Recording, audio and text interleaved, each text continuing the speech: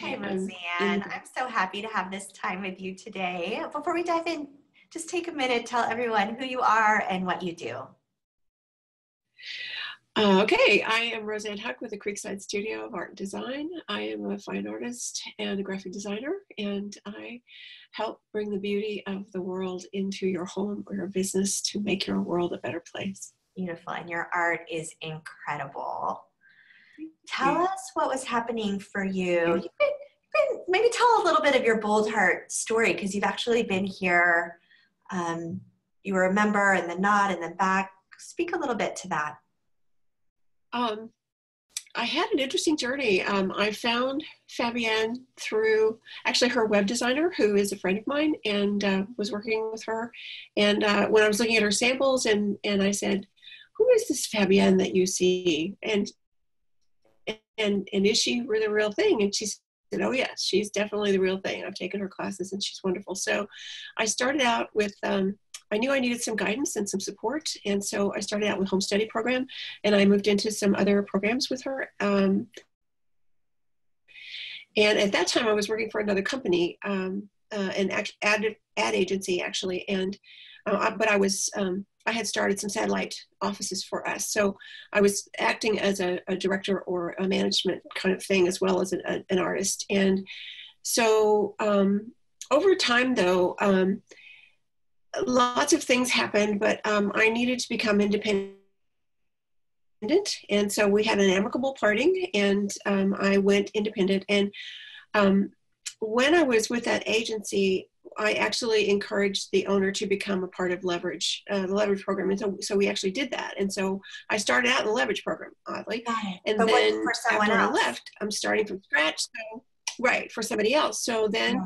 when I was on my own, um, I realized I desperately needed that support that I had had before. So I started in the growth program, and um, it um, made all the difference, has always made all the difference to have that supportive network. And because I work um, on my own mostly and out in the woods, um, it's great to have that community, that support. Amazing. So when you decided to join, you know, when you went out on your own and, and came back to Boldheart and joined Growth, what had been your experience in your business up until that point? Um, well, it was very scary. And I, even though I felt like I had some pretty good understanding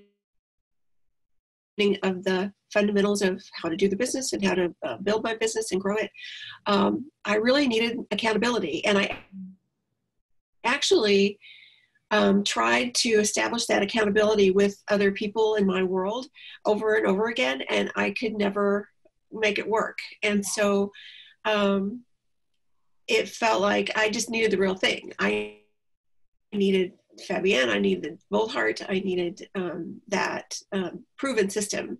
And so um, I, I jumped back in, and it has been, I took off like a rocket. Um, Can you, in, initially, though, I have give to us say, a little uh, bit, would you be willing to share a little bit more about what taking off like a rocket has meant for you?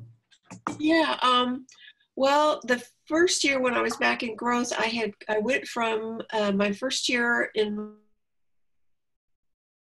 my little business, I made twelve thousand dollars, eight thousand dollars, and then um, my husband became very, very ill. He had Parkinson's disease, so um, I had to step back from my business and everything else in my life and take care of him. And then he passed away, and I got back into the program just um, uh, last fall, I guess. And um, since that time, um, I I just had the best uh, month of my entire business career. I made about sixteen or seventeen thousand dollars in one month, and there's no reason to believe right? that that's not going to repeat itself. Because you wanted to make the shift from that was my art. You know, working in graphic design to really focusing on selling your art, and you've done that.